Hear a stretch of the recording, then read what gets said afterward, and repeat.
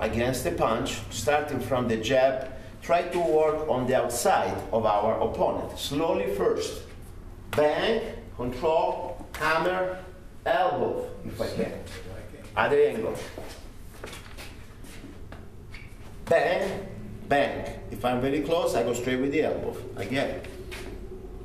Bang, bang. Bang, bang, bang. Okay? This movement. Go. Boom, boom. Now we're gonna do fluid. Okay? So that's outside. Same story can be done the other way. Now we do a variation that right now I'm fighting and I expect him to come maybe with a jab, but instead coming with a cross. Okay? The problem now I have, I need to rotate more. I want to be on that side. I may be able, what if I'm not?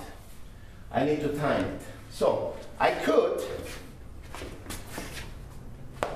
but probably it would be better. Now, problem is this hand is ready to strike. So our move is going to be bang, bang, immediately, bang. Okay? So the three movements going to be one, going in, stop, up and stepping in, strike, and then at the point, if I have the opening, knife hand, clinch, knee. Let's do this.